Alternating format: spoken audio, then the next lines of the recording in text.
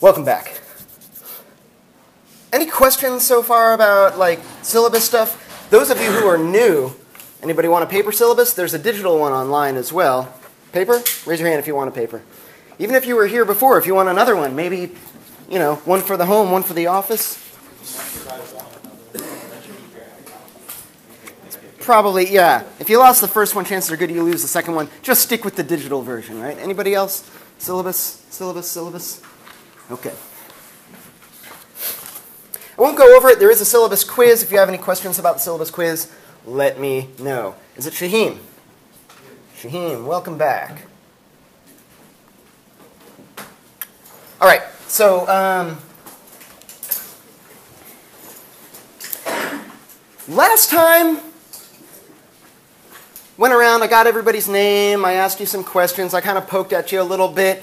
It was fun. I don't know. What do you guys think? Was it was it fun? Was it somebody somebody approached me after the class and said like, "Is this pretty standard? Like, is it there going to be this much back and forth dialogue?" And I was like, oh, "Like, I hope so." This it, yesterday, not yesterday, Tuesday was definitely tilted a little more in this direction than our normal meetings will be. There might be a little more in, in this direction, but I'd like to have that sort of dialogue. One difference that I would like to have is see if we could focus it because it was a little bit, while it was fun and we were following ideas wherever they led, and some of this had to do with that I was forcing everybody to talk, even if they didn't want to. But there was a little bit of kind of like, let's go talk about this. Whoa, oh, this idea. Whoa. Have you ever had a conversation like that where you're trying to talk to somebody about something and they keep like, and you're like, get back here, we're talking about this thing. One sustained conversation about one idea at a time. Please, let's slow it down. This is like a big mark of philosophy. It's a slowing down of your thought process so that you can become a little more careful in your thought process. Philosophy is very slow. This is why we're still in conversation with things that were happening like 2,500 years ago, right? That's how slow the conversation is. We still haven't stopped talking to the folks at the very beginning. And that's what, that's what this class is all about. That's, in fact, that's what today's class meeting is all about. We're going to go like all the way back to the very, very beginning. Um, we talked last time about this question, and in, I tried to weave it into and cram it into the end of our little free for all conversation. Um, that sounded that sounded like I wasn't impressed with it. Our little free for all conversation. It was good. It was good for what it was. Um, this question about like, well, why should we study ancient philosophy? I, I kind of sketched out a couple of possible answers.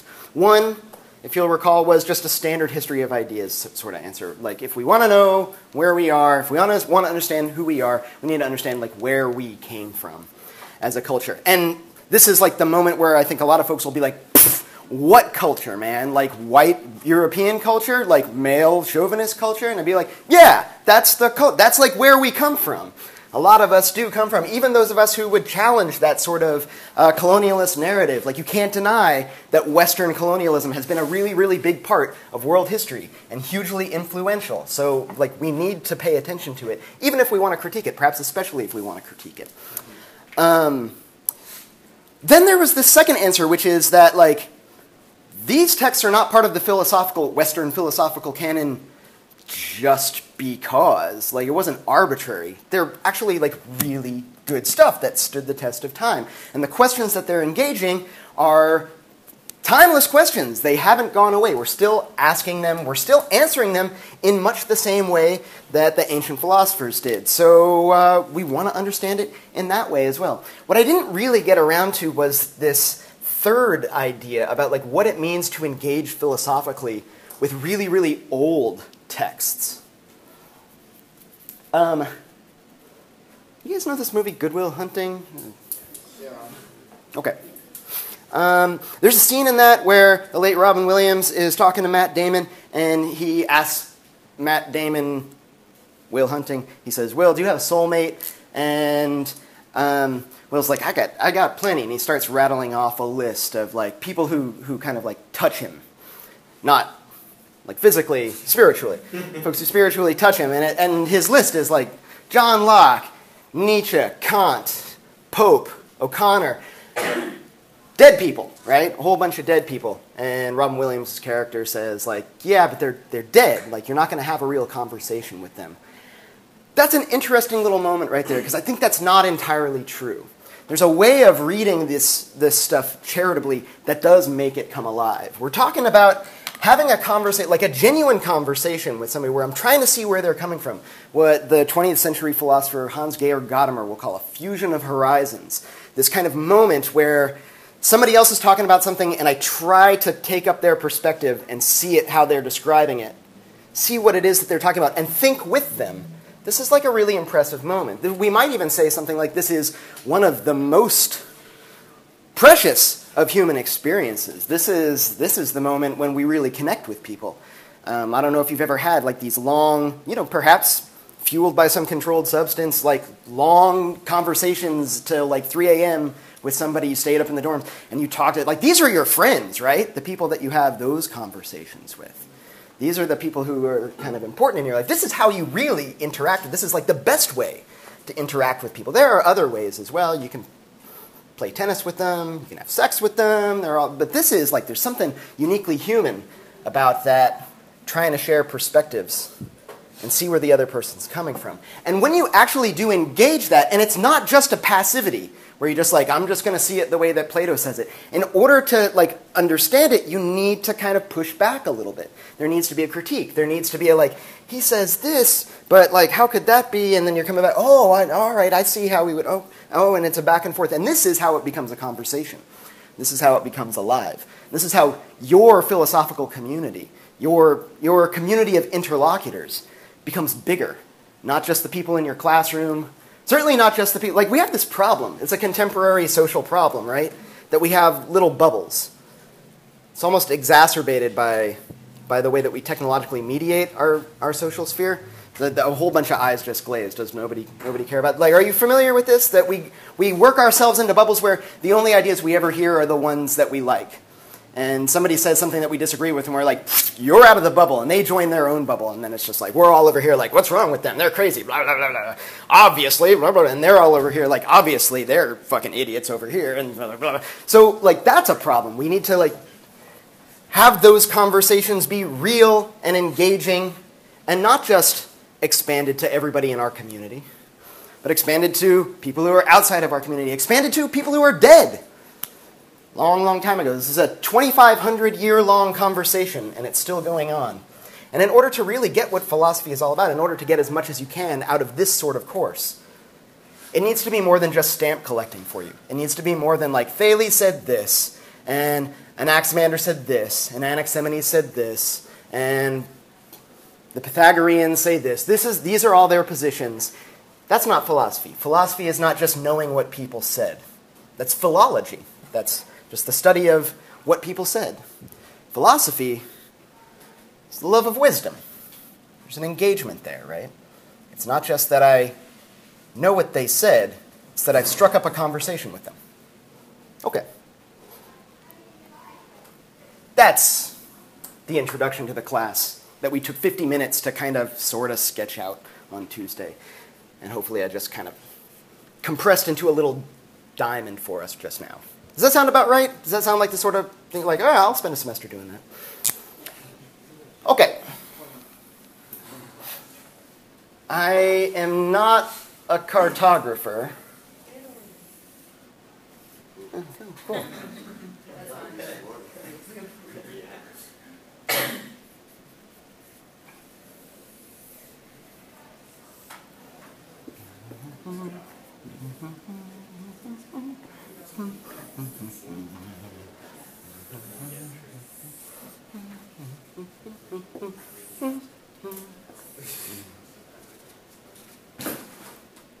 Oh yes, okay. Um, so uh, then not to scale. Okay, um, that's the Medi- the general Mediterranean, right? As like we all like. As, oh, that's what he's talking about. Thanks for the person who recognized Italy right off the bat. That's where I say you got to start with the boot, right? You got to start with the boot. Tons of islands out here. Just just lousy with islands which is a big part of like how Greek civilization began. Um, this is, this is geographically what we're talking about. It's particularly important for when we're talking about the pre-Socratic philosophers. Pre-Socratic philosophers, what do we mean by that? Well, the ones who came before Socrates. And um, in reading Baird, my hope is that like you got a sense of that there's some ambivalence I think amongst most ancient philosophers about this term pre-Socratic. It's almost like not fair to the pre-Socratic philosophers that were like, oh, what do they all have in common? Well, they're all before Socrates. It's just, like if, imagine if your parents talked about you as anybody have an older sibling or a younger sibling or something like that. Yeah, imagine if you were just like your sibling's brother or sister right? Some of us might have experienced like coming up through school and you're, oh yeah, that's Adam's sister. My sister hated that shit. Um, so yeah, it's almost not really fair to the pre-Socratic philosophers. There's something genuine going on there. But I'll also say that once we hit, like you'll, hopefully you'll notice, once we get to Socrates, there's going to be a noticeable shift, a kind of a quantum leap forward where like we're doing something perhaps qualitatively different. At the very least, like it's almost like we're in the early stages of philosophy. It's starting to come together with the pre-Socratics. By the time it's hit Socrates, it's definitely going. This question about like who the first philosopher is is a really weird and delicate question. It's uh, the sort of thing that, uh, first of all, we don't we don't know who all was saying what, and like no matter who you pick as like, oh, I think that person's the first philosopher, somebody's gonna be like, well, somebody came before, or well, I don't know if it was quite philosophy at that point yet. Part of what we need to answer this is to have some idea of what a philosopher is and what philosophy is. We talked about this a little bit at our last meeting too that it's, we had all kinds of answers, but one thing that we stuck on that at least seems etymologically resonant is this idea it's the love of wisdom. For the Greeks, and I think for the, this story of Western philosophical thought and the story of its beginnings, I think a lot of times this gets cashed out as a movement from mythos to logos. Mythos to logos.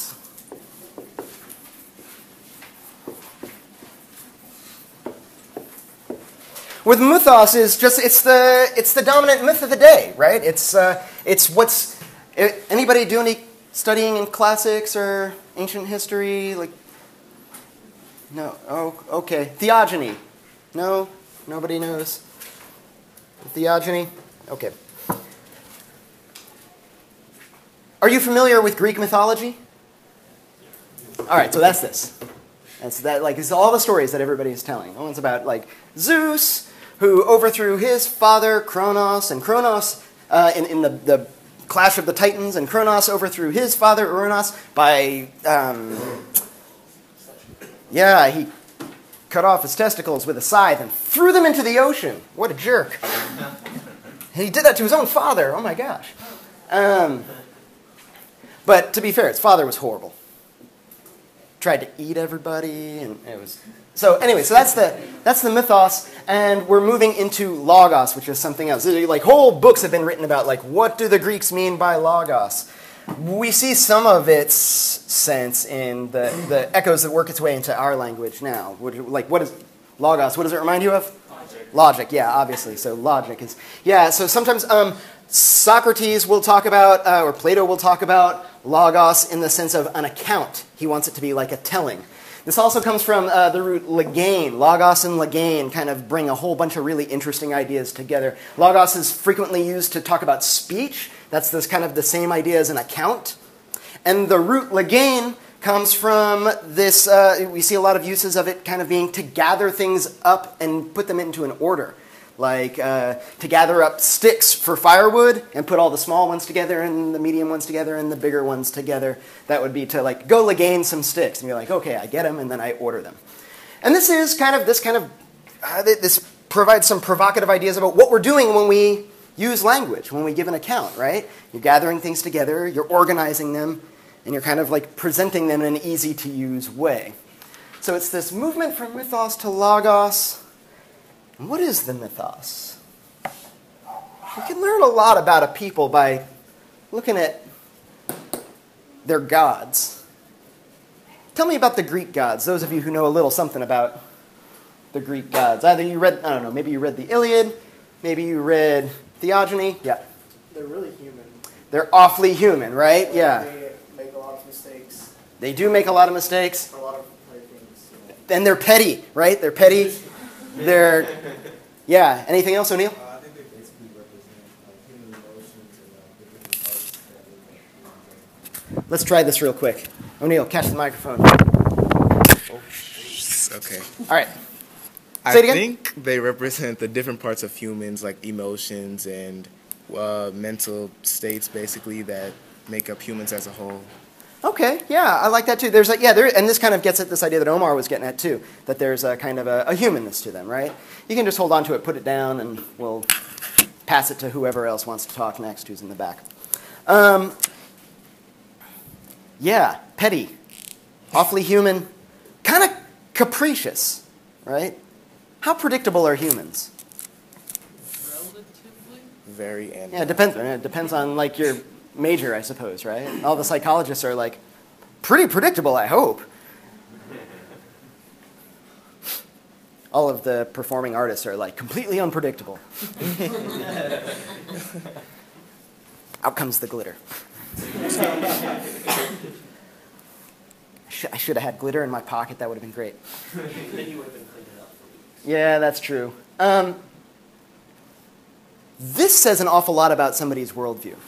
That like so like why do things happen? Why does the sun go across the sky? Why do the stars move the way that they move? Why was there an earthquake? Why was there a flood? Why did a plague come and wipe things out? Because the gods made it happen. And what about the gods? They're petty.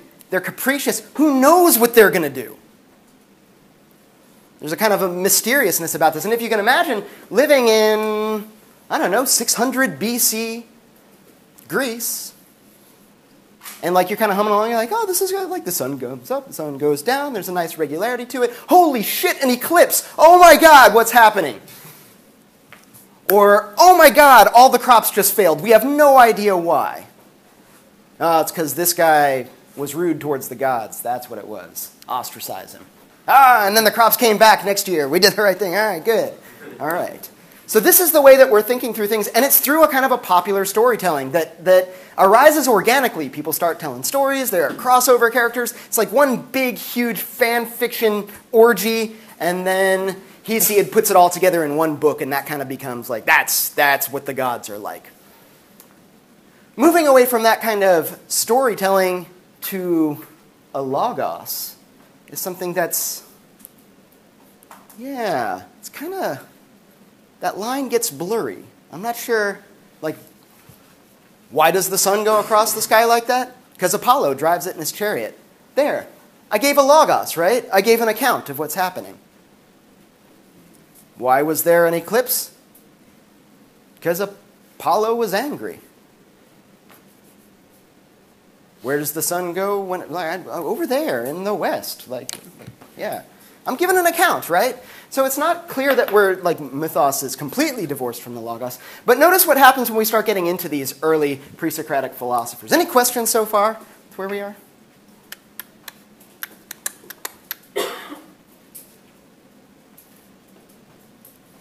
Okay. Where we are. Huh. We're here. Ah, that's a little off. We're here. Yeah.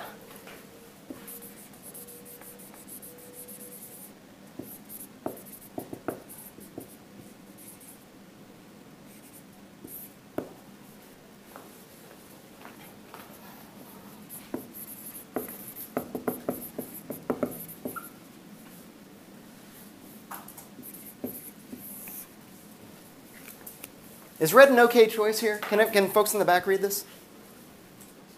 Okay, good. What about, can we get it? Is it showing up on the, yeah, that's readable. Okay, good. Um,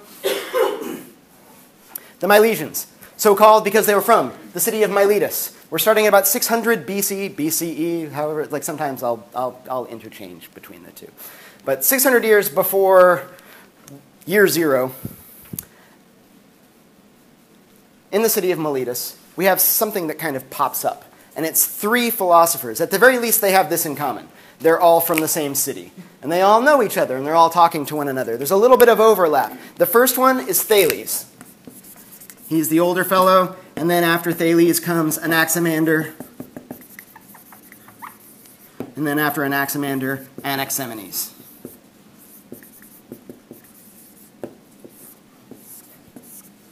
They're weird names. You'll have to do a little bit of work to remember them.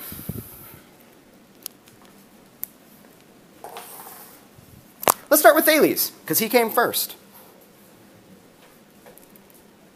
Thales was a big deal, actually. Thales was one of known all over like the like all of the Greek territories as one of the seven sages, like seven wise people that occasionally would all come together and meet to kind of talk, you know, interpolitical sort of affairs, right? If there's some talk of like, what's going on here? Maybe uh, the Persians are trying to invade from the east. Let's all get together and talk about it. One of the big guys was Thales.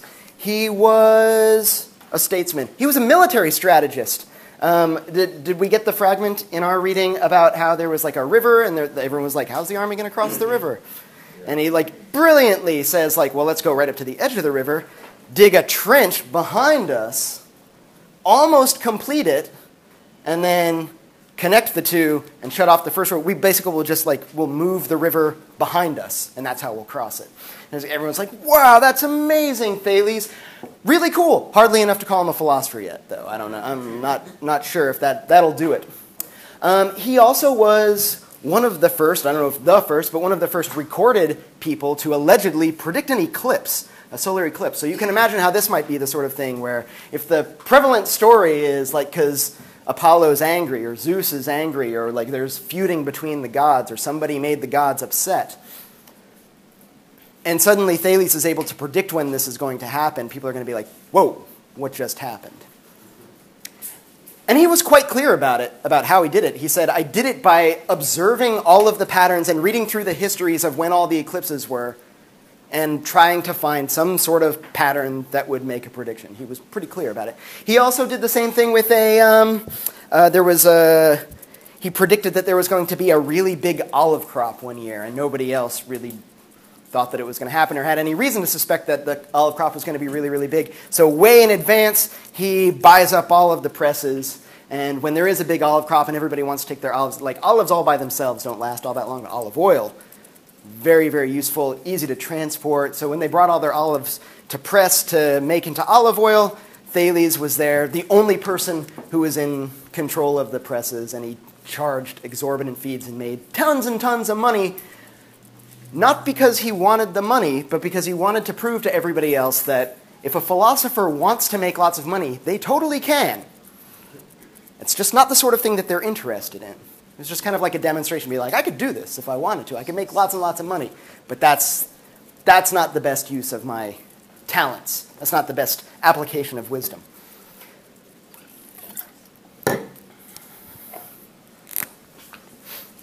If we want to, and for a lot of our pre Socratics, we're going to be able to do this. We're going to kind of like cliff note summarize them in a really sort of a violent way with just like one little nugget, one little phrase. And for almost all of them, there's going to be this idea of everything is. Like we can think of a lot of the, the pre Socratics as their positions being some kind of elaboration on this fragmentary sentence everything is. For Thales, it's everything is water. Before we talk about like why Thales thought that everything was water and why we would even talk about such a ridiculous idea, let's talk about that everything is part.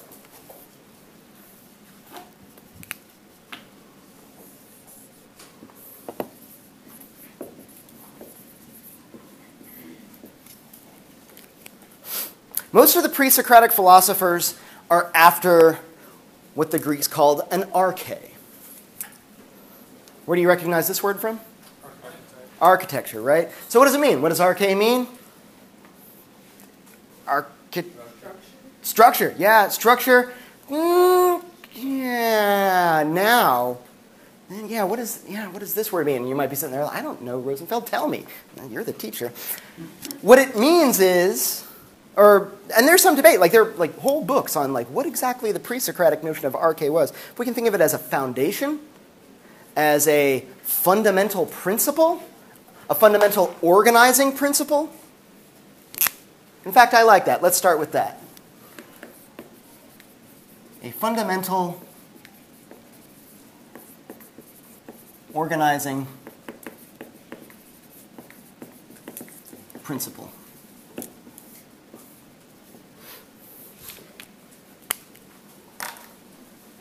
And in searching for this, one of the things that we're kind of tacitly articulating is that I think we can figure the world out. I think the world makes sense. I think it's not just random, capricious acts of God's. I think if we pay enough, clo- uh, if we pay close enough attention, and if we're sufficiently rigorous in our inquiry, we can figure out what the fundamental organizing principles of the cosmos are. We can figure out everything. Everything can make sense if we just figure out what its structure is. If we just figure out like what the basic building blocks of reality are all about. That's an interesting move, and we can see how it's part of this shift from mythos to logos. Not just storytelling anymore. We're trying to crack the code. We're trying to render nature intelligible. We're trying to like strike up a conversation with nature itself. In fact, we might look at some of this, this thinking about like fundamental organizing principles of, um, of the cosmos, and especially look at the way that the Milesians do it. We might think to ourselves, that looks a little bit more like science than philosophy. We'll talk about that in just a second. But first, Thales and this idea that everything is water. Why would anybody think that everything is water? Because there's so much. Because there's a yeah, there's a lot of it. It comes down as rain. comes down as it comes out of the sky. You dig down underneath the ground, especially if you live in Miletus, which is on the coast. You dig down far enough, like oh, it's under the ground. It comes out of the sky. It's under the ground. It's running all over the top of the ground. Yeah. You notice that water changes and also compare that to how nature changes a lot. Oh yeah, water flows, right?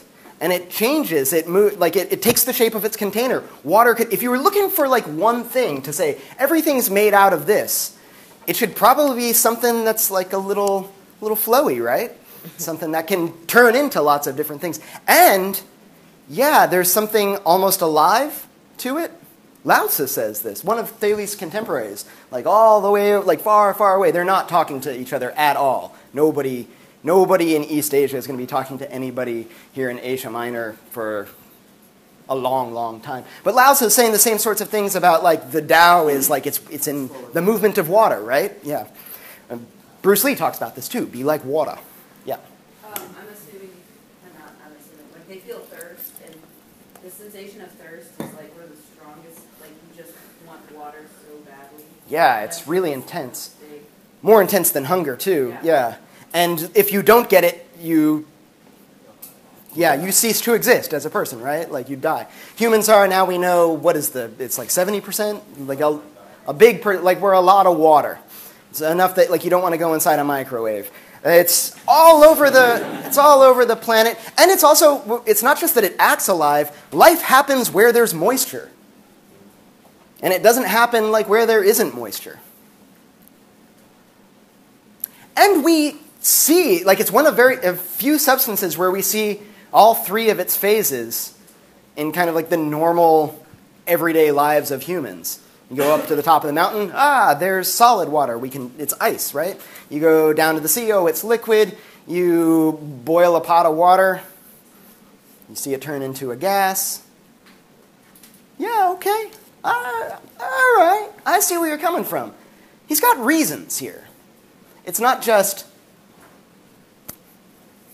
because the oracle said so. It's not just because I ate that plant and I had a vision and that's what the gods told me. He's got some reasons. How plausible is his explanation here? For the time, really good. For the time, remarkable, maybe, yeah. Everything's water, and we're like, well, not everything, but a lot. A lot is, yeah, you're right. A lot is a surprisingly large amount is water. Is it the fundamental arche? Is it the fundamental organizing principle of all things? Like biologically. Biologically, perhaps, yeah. The sun and the stars, water, fire, maybe. Is fire water? No. I'm not sure exactly how hip Thales was to this, but I don't know. Have you ever like, what is a fire? All the chemists in the room. What's, yeah, okay, combustion. Yeah, there we go. yeah, fire is hot, and as far as the chemists are concerned, it's combustion. And what are the two products of every complete combustion? Oxygen. No, it eats oxygen and it produces carbon dioxide and Water. water. Anytime you make a fire, like water is being produced. So I don't know if Thales knew that. In fact, fire seems like it's a weird outlier for him in trying to explain everything, but maybe the tools might have been there for him. This kind of gets us into some territory where we're like, we're not sure exactly what Thales said or how he would have responded to our question about, like, what do you do about fire there, bro? Like, "Hmm, have you done this experiment? Do you know that fire produces water? That's really, really interesting. Folks won't know that combustion is turning a hydrocarbon by combining it with oxygen into carbon dioxide and water. They're, they're not going to know that for a long, long time. There's going to be a whole wacky phlogiston theory before we can get to that theory of oxidation. But um, he's articulating a fundamental organizing principle, and he's reducing it to just one thing, one material thing. If we recognize that everything is made out of water, then the world will be predictable. It will be wet. Well, less, you know, it'll be moist. And the world is moist. In fact, when we look for habitable planets, what's the one thing we're always looking for? Is there water? Yeah. All right. That's Thales. Remarkable for his time. Remarkable for his time is a very polite way of saying stupid, though, right? or uninteresting to us today. What do you think about this project to try to figure out one thing that everything is made of? Like, does that even seem plausible? Is that like an old fashioned idea, or are we still thinking, like, is this question like, what's everything made of? Is this still a question that resonates for us? And do we still try to come up with like just one thing? Yeah. I mean, you can kind of look at these theories like the atomists before atoms like were discovered. Yeah. And we'll study the atomists. They're, Yeah. We got another hundred or so years, but yeah. yeah. And so, the, just the fact that they're trying to find like one building block is interesting in and of itself because we didn't find out about the atom until like hundreds. And here's another interesting thing here. Thales, not an atomist. In fact, none of the Milesians were atomists just yet. So when I talk about a fundamental thing and we, we think in the terms of building blocks, that's not really quite how they're thinking. They're not thinking of like water molecules as Legos that we build everything, like the Legos that the world is built from.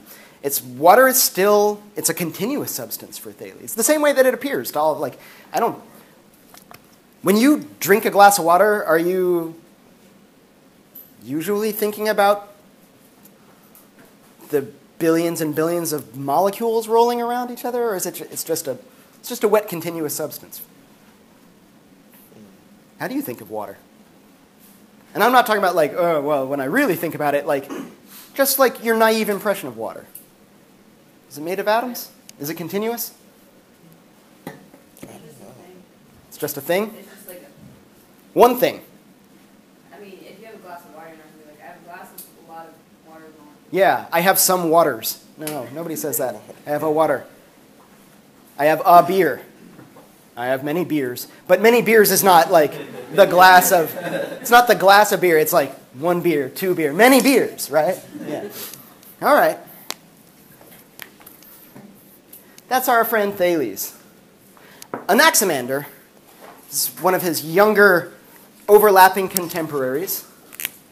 And Anax- Anaximander like Thales before him, did some really impressive stuff that we typically don't talk about in terms of philosophical contributions, but he was a wise guy and like really impressive. He did a, an awful lot of like really big stuff in geometry. If you get into the history of geometry, especially history of Greek geometry, Anaximander's a really big figure. He, um, whereas Thales predicted a solar eclipse, Anaximander determines exactly when the vernal and autumnal equinoxes are. That's actually a really difficult thing to do. It's relatively easy to figure out when the summer and winter solstices are. You just kind of put a stick in the ground called a, no, a gnomon, and when the sun is up, it casts a shadow, and as the sun moves, the shadow gets longer and shorter, and the shadow moves. And all you got to do is kind of pay attention to those shadows, and at noon is when the shadow is going to be the shortest, and at the let me see if make sure I get this right. Yes, at the um, summer solstice, it's going to be the shortest of the shortest, like the shortest noontime shadow, and at the um, winter solstice, it's the longest noontime shadow. Relatively easy to figure out exactly which day is the longest and the shortest day of the year. You got to do this plus a lot of really fancy geometry to figure out which are the days where the sun, where the, the day and the night are exactly equal. And I know you might be thinking to yourself, like, how hard is it to figure out which, like, when is like the night exactly the same length as the day? You just, you just time it on your stopwatch, right? No, not not 600 BCE. You couldn't. Measuring time is not a thing that's going to happen for a very, very long time. As a matter of fact, it's like not until like well into the modern era are we going to have reliable standards of time for scientists to use. So this is a, like there's a whole lot of remarkable ingenuity going on with these folks as they're putting into practice this idea of like finding an arche and moving from mythos to logos. We're going to figure the world out. We believe that it's understandable. We believe that it's predictable. We believe that it's not just a big mystery and we're at the whim of the gods. For Anaximander, everything is, everything is, everything is Something. apeiron. The infinite, perhaps? Yeah, that's that's so. Yeah. Welcome to our. How many do we have here? How many words have we racked up where I'm kind of like, we're not sure exactly what it means. It's a mushy term. We had, well, philosophy, that's the first one, right? What the heck is that? And then uh, Sophia itself, wisdom, was something that we were like, uh, yeah, not, we can kind of sort of sketch out, but I don't know if I know exactly what it is. Logos gets tossed into the mix today. Um, arche. And now, apeiron. Which sometimes folks will say as the infinite. Literally, indefinite, I think, is maybe closer.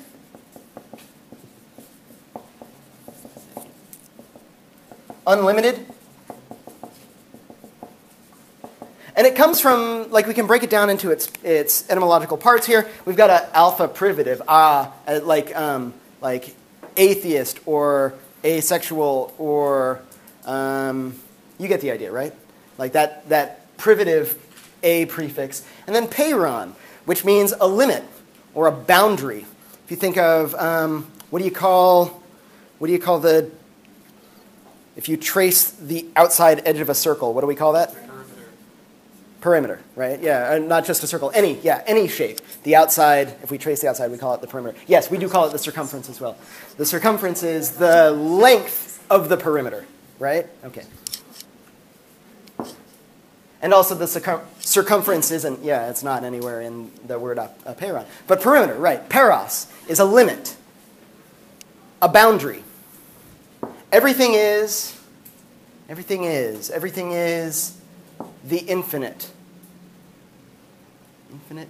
Everything is the unlimited. That this is the ah, ah, ah, ah I see where this is coming from here. The stuff that everything is made out of. The arche, the fundamental organizing principle, is this unlimited stuff. Unformed matter, right? Unlimited matter, perhaps. We might think of it. It's, it's out of the indefinite, things are we put boundaries around them. You can think of it like this. First, there was this indefinite stuff. Then somebody took a little corner of it out and said, like, here, I'll put a boundary around this. Now it's a thing. Yeah, it's a square thing. Yeah, it's a square. It becomes it only becomes a thing when we put some boundary. Do you know any things that don't have limits? This is a thing. Does it have limits? Yeah, like right around there. Like that. Yeah, there's lim- it's got a boundary, right? The unlimited. The unlimited. What a weird idea.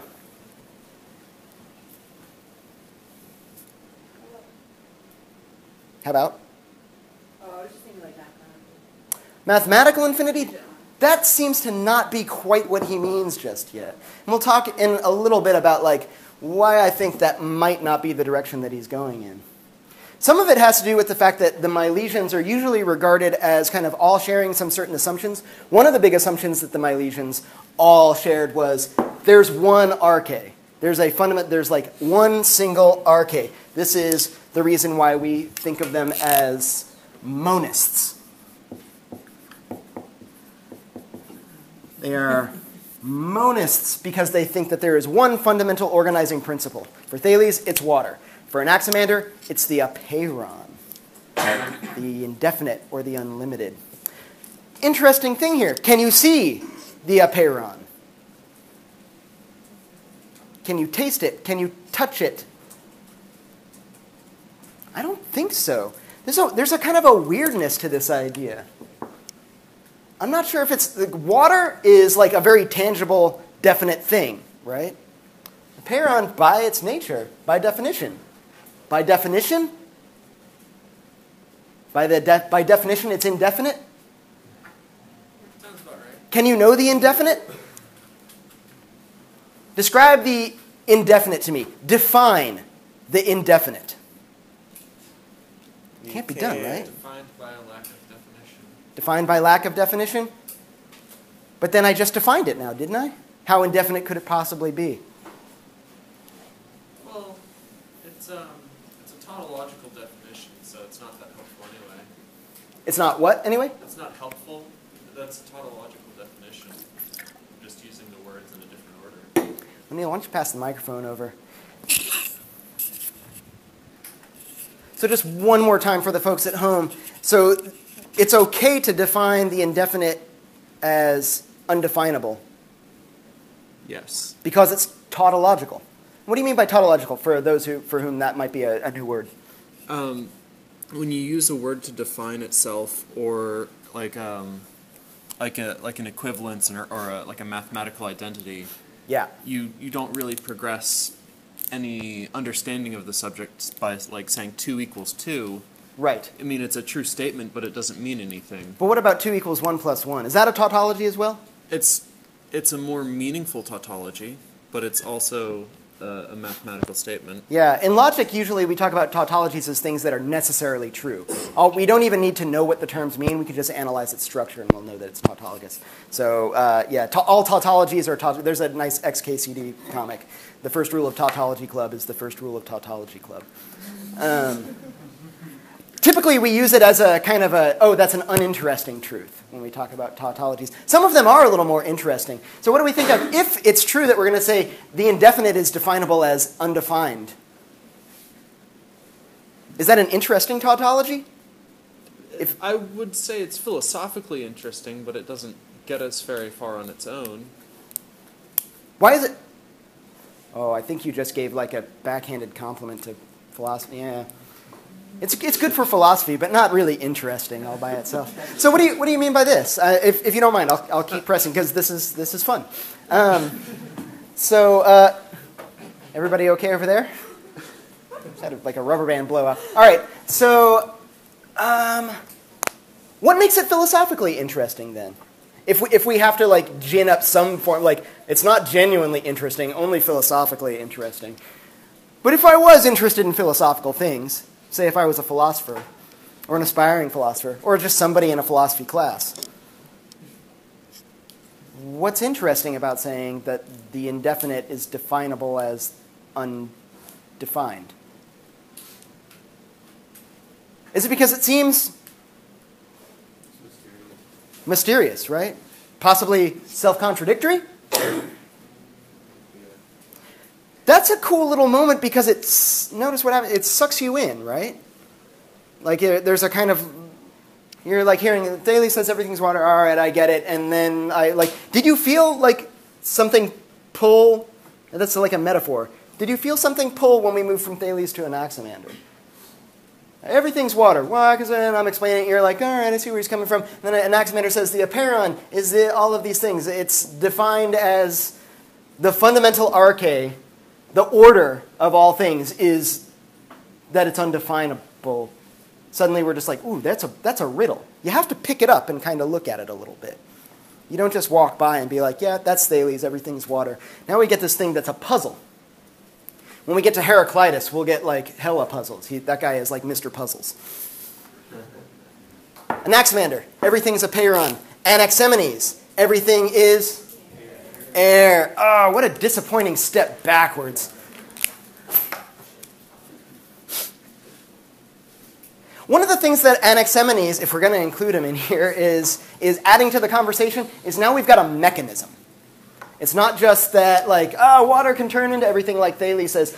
Anaximenes says it does it by this process, by compression and rarefaction. When you compress air, it turns into water. Compress it even more, it turns into stone or earth, ice.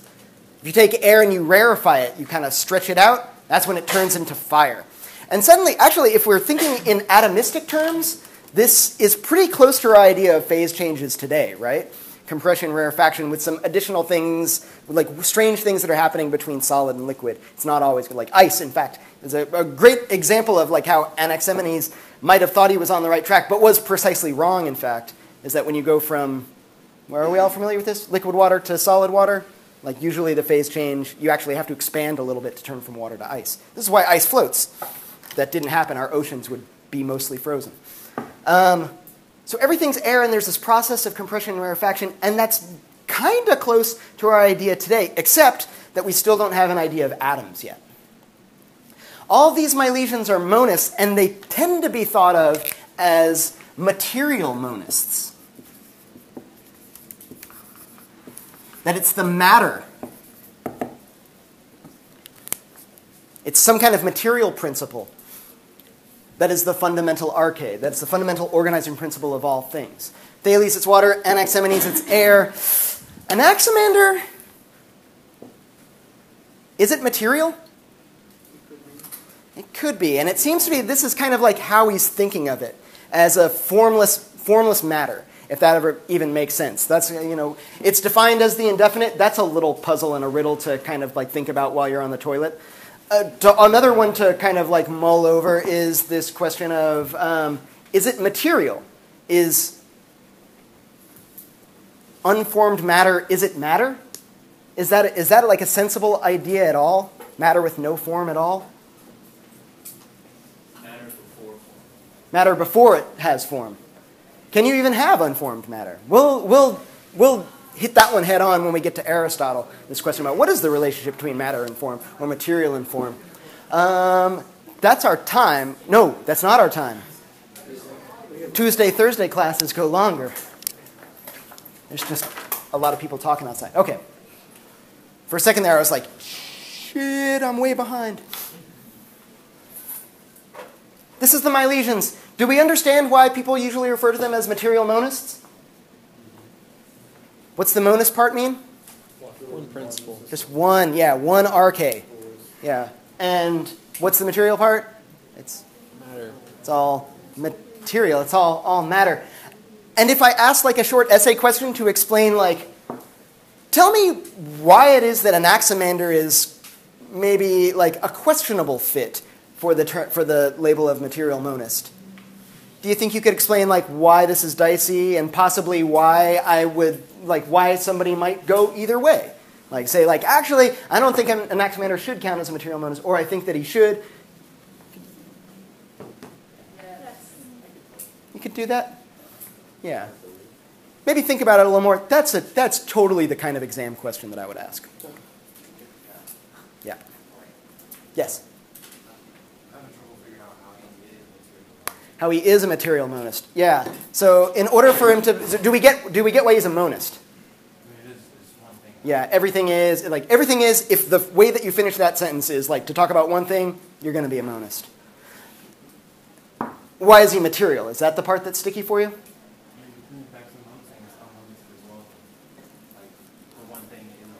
The one thing is, yeah, it's the apeiron, right? That which is without peros, the that which was that that which is without limit. And we've got to think of that in a way where we're thinking of like that's stuff. It's the stuff that reality is made out of.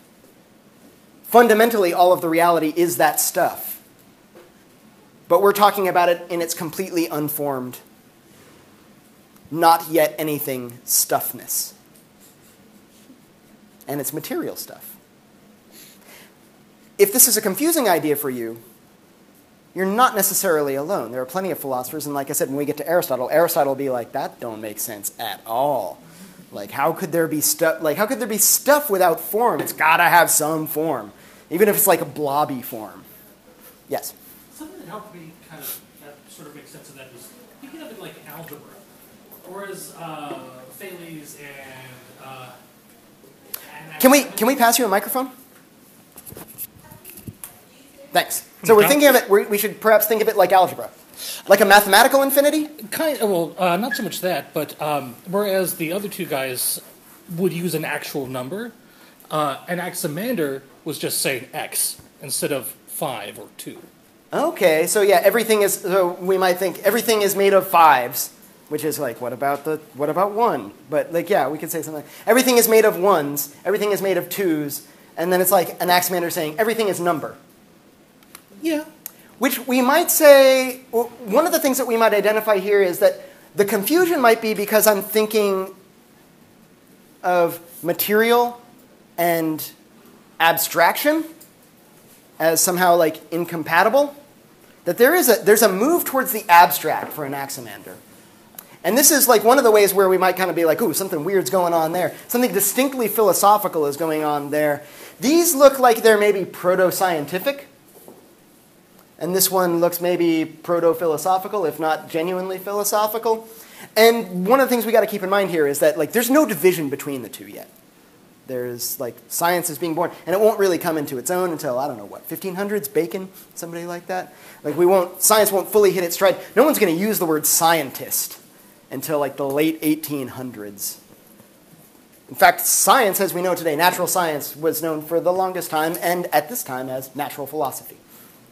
So the two are not quite distinct, but we can already see like two differing trajectories here. Like a movement towards the concrete as an arche of the cosmos, some kind of concrete material stuff. And here we have an abstract sense of materiality. Maybe like the abstraction of material. Maybe this is what the material of matter in its most abstract form is this. This might be what he's thinking of. So that might, I don't know, does that help kind of clear it up?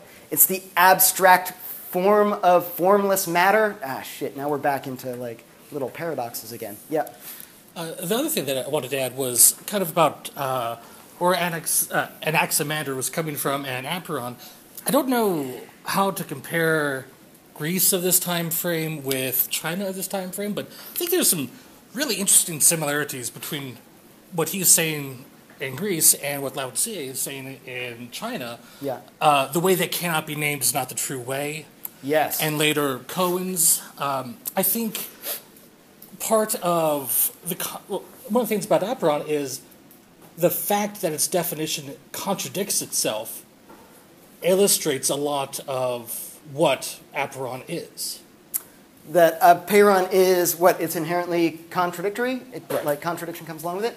We're getting shades of Heraclitus already, and I want to like, I, if there's a reason why I'm not indulging this thought process right now, it's because we're going to hit it in a really, really big way at our next meeting with uh, another guy who embraces that. Part of the reason why I'm not, I'm kind of like, I'm not sure exactly what Anaximander would have said about this? Is there something inherently self contradictory? Is there something inherently paradoxical about the idea of apeiron? Um, because we only have like a couple of little fragments. We don't have a whole lot from Anaximander. Most of it's secondhand. Um, there's a nice little quote here that adds one more thing that Anaximander was able to add into the conversation. Um, and it's the only surviving fragment that we have. You had a question, though. Yeah. Yeah. Have you ever considered Anaximander not actually fully grasping the concept of infinity? Have I ever considered Anaximander not fully grasping the concept of infinity? Perhaps he could have just looked at something and said, like, put his own sort of boundary around it, just like you said, there were material monists. Maybe he put something like, he looked at the ocean and said, oh, that's infinity, because we don't know how far it goes on, or. Oh, yes. An Anaximenes. Anaximenes. Yeah, that guy. No, say it. Say it. Anaximenes. Anaximenes. One more time. Anaximenes? Close, you much closer. Anaximenes. I can't not say that. Let's try it all together. One, and it's Anaximenes. One, two, three.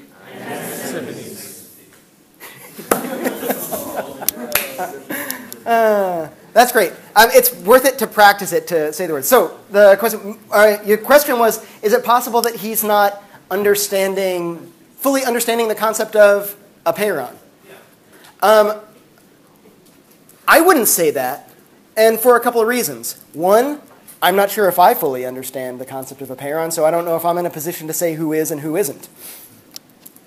A little Socratic move right there. Another reason is because I'm not sure exactly what Anaximander thought of the apeiron, because we only get a few surviving fragments and second and third hand accounts of what it is that he said. So I can't say. That's a, that's a really, really tough question to answer.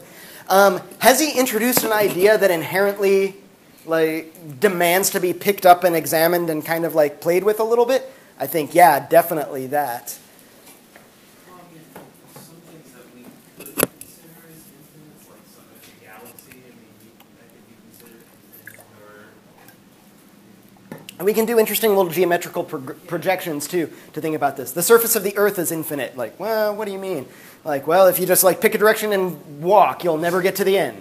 It's like completely there. There's no paros. You'll not encounter anything. We're like, eh, but there's a surface area, right? There's definitely some limit. And you're like, oh, you have to think at a higher dimension there, and so maybe this is like the direction that we go when we start thinking about the universe as being infinite as well. Um, obviously, though, still a concept that's rattling around in our philosophical consciousness, right? We still wonder whether or not the universe is infinite and how to think about that. One of the other things that Anaximander added to this conversation was this idea, and this is, ah, right, false started a couple of times there. And this is the content of the only surviving fragment that we're pretty sure like came from him, and it comes by way of Simplicius in the fifth century. Um, it says, Whence things have their origin, there their destruction happens as it is ordained, according to the debt. For they give justice and compensation to one another for their injustice according to the ordering of time. What he's saying here is when things come from the apeiron, there's a debt to be paid. How do we pay that debt? Going back to it. Got to put it back, right? It's got to go back to the apeiron. Things die. Things that come out of things that come into form, things that come into being, also pass away. They decay. There's destruction. There's creation and there's destruction. And that creation and destruction is this coming out of and going back into the apeiron, the indefinite, the infinite. And that's justice. We ha- that's a concept that hasn't made an appearance yet at all, right? That somehow justice is involved. It's a really thin sense of justice. And he says kata ta chreon, according to the debt. It's not, he's not talking about justice itself, like the personified justice and the word that like uh, Plato is going to pick up when he talks about justice in the, in the Republic is dike. So we have, according to chreon, according to the debt, some, uh, maybe we need some scare quotes around this. But something looking like justice has worked into the conversation now as well. How can, how can we be talking about things that going into, like coming out of the pairon and going back anyway? Indefinite mean, and infinite means like it doesn't end, so Yes. how can he say like this is infinite but it, but it dies? Yes. Right. Right. The question, in case it didn't get picked up on the microphone, is how can we say that the indefinite is in fact unlimited if things can come into and out of it? Same as we might say, like, if the universe is infinite, what's outside of the universe? But then it's not infinite, right? Then there's a boundary. There's a boundary between this universe and another universe. We might say, eh, there's no, it, there's, it doesn't make sense. But we're kind of stuck with this idea of coming into and out of the infinite, right, or the indefinite. And one way of thinking about it is that it's not, that thinking about it as a physical movement into and out of might be a little bit of a metaphor and shouldn't be taken literally. That it's more like there's indefiniteness and then pff, like we form things out of it and then we destroy them. When you destroy something, kind of like when a person dies, right? When they return to the infinite, did they go somewhere? Is it like a change of location that happens when you die? But they were infinite. Before you were infinite, then you became a particular finite thing, and then you died and went back to the infinite. No longer a finite. we had shades of Heraclitus before. We're getting shades of Parmenides now. So, like, I'm going to table this because we're dealing with fragmentary comments and we're spinning the next couple of steps already out of them. Good. You guys are, you guys are good. Like, you're, you're making approximately 100 years of philosophical progress in one hour. I like it. Okay. Got to get at least one more guy on the table, and he is Pythagoras. Pythagoras and the Pythagoreans.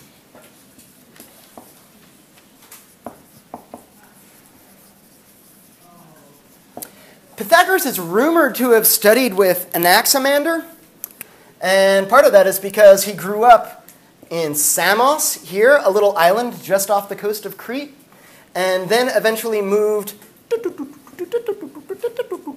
all the way over here to Croton.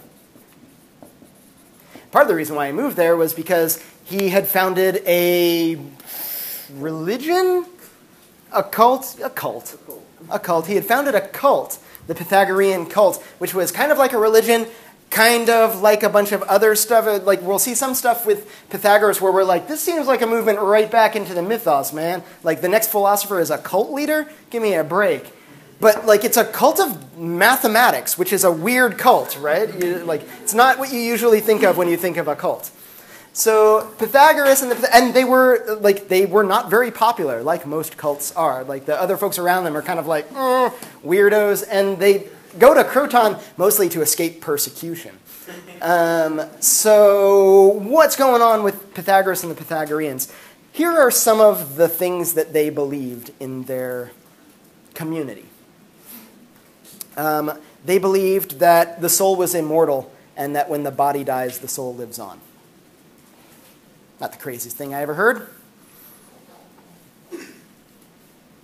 They believed that um, you shouldn't eat animals because they might be a reincarnated friend or relative. They believed that you shouldn't eat beans. They believed in gender equality. That was a really big deal at the time. Like, not there wasn't a whole lot of that going on not just in Greece and Asia Minor, but like anywhere on the planet, there wasn't a whole lot of gender equality. and we can start to see how some of these things go together, right? If you think that the soul is something that's distinct from an abstract thing, not a material thing. This is like one of the big moves that we get with Pythagoras and the Pythagoreans is this huge shift towards the abstract, towards something that is definitely not mathematical. Maybe we got some hints at it all already from Anaximander, but like Pythagoras and Pythagoreans are making a huge shift away from the material and say, like, no, no, no, no, you are not your body. You are some other immaterial thing, and when your body dies, that lives on, and eventually will be reincarnated in another body. And this is why we don't eat animals. And this is perhaps why we don't eat beans. People are like, why not beans? And like, if you eat a whole bunch of beans, they'll start speaking through you. Like there's some there's a life force going on there. This is the sort of thing, like, we got, got little shades of this also with Thales, too. Thales was fascinated with magnets and said, like, ah, some kind of, like, interesting principle involving water, of course, is going on inside of a magnet, and leads him to say uh, a very famous quote from Thales everything is full of gods. Not, not in the sense that there are like little Greek gods inside the magnet, like doing stuff, but that what we think of as gods, this fundamental organizing principle, is something that's suffused through everything. And it's what makes things move. When you see something move, you're like, where'd that come from? Like, what made that happen? Some natural force. Something that has got to be part of the fundamental organizing principle. All is full of gods. And beings, of course, obviously, full of spirits. That's why, thanks. I was trying to be delicate about it, but yeah, that's why you fart. Yep. Um, so, so little. That's actually not why. I'm sorry. Just that's actually not why you fart. But yeah, right. so, so they didn't eat animals because they might be reincarnated people, and then you use the second sentence and the same breath to say that they believed in gender equality and didn't eat beans. Are those related? Oh yes. Well, they believed in bean. They believe they didn't eat beans. Um, hard to tell exactly why because we just have a list of rules and you're like, where does that come from? It might just be inconsiderate to your fellow cult members to eat beans. It might be because we think that beans are like different than your ordinary vegetable in that they contain a soul or a spirit. Anaximenes said that everything is air, and we might think of like air seems like such a like an inferior principle to even something like water, like Thales says. After all, water and moisture is what gives life to everything. Why not air, right? Why not air be our principle? Because it's it's breath, right? Like it's spiritus. It- all through the Middle Ages, we're going to talk about the soul as spirit, as breath. And so that's yeah, yeah, sure. Why not with Anaximenes as, as well? And we can say the same thing about beans, that it's a sign that there's a soul in that bean that it talks. Yeah, maybe. I don't know. I'm I'm trying my best to like think like what would a Pythagorean say? Gender equality is one that totally makes sense because if you are not your body, then these presumably superficial bodily distinctions between men and women are not important. If you're just a soul, man, woman, all the same kind of soul. Not everybody ends up agreeing with that, but usually it ends up, uh, not all the Pythagoreans seem to at least. And uh, gender equality and this idea of the soul is going to be something that's rattling around the rest of our conversation about Greek philosophy. Pythagoras and the Pythagoreans are a huge influence on Plato. After Socrates dies, he goes to Croton and spends like quite a bit of time studying with the Pythagoreans, and it's, it's a, a big influence on his work. Well, as we go through it, we'll point out like, there it is, there's Pythagoreanism. Everything is, everything is water, apeiron, air. Everything is mathematical ratios. Because that is the tippy top pinnacle. That's as abstract as you get, man, is mathematical ratio. And the story of how Pythagoras discovers this, and there's no telling whether it's a true story or apocryphal, is that he was walking through, um, he was walking through the, the village and he heard blacksmiths banging on their anvils, and he noticed that there were like they were playing like a little tune. It was like bunk, bunk, bunk, bunk, bunk, bunk, bunk, bunk, bunk, bunk, bunk, bunk. And he was like, that's cool. And he goes over and he looks at the anvils and he realizes that this one that's like an octave higher than this one is half as big as this one. And this one that's like an intermediary interval between this one and this one, it's an intermediary mathematical like whole number. Like its size is kind of doing the same sort of thing as the sound. And suddenly he just there's kind of he thinks to like, and this is how flutes work as well. And he realizes that mathematical ratio is, first of all, it's how we understand the world around us.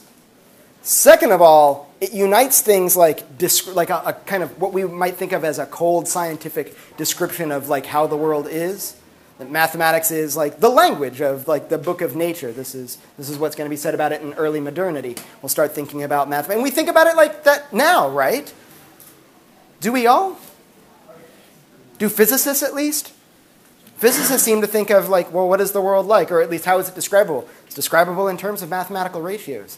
Pythagoras got there early, 500s BCE. Was talking about how everything was made of mathematical ratios, and not just everything in the natural world around us, but beauty and ugliness can be described this way as well. So suddenly we have this notion of value. We had something about justice before with Anaximander, this idea of like kata ta chreon, according to the debt, that which comes out of the apeiron's got to go back someday. Um, with Pythagoras, we have something more like beauty. And also, they start playing around with this idea of harmony as more than just a metaphor for how we get along with one another in a community. So, justice, maybe even in a stronger sense than the payment of debt, or in a slightly different sense than the payment of debt, justice in the sense of harmony, is somehow describable by mathematical ratio as well. Unspecified exactly how we're going to flesh that out. But beauty, mathematics, justice, all part of the same thing. It's all harmony. It's all math, and harmony is nothing more than mathematical ratio. That's as abstract as it seems like maybe it's as abstract as you could get. Number. Number is pretty abstract, right?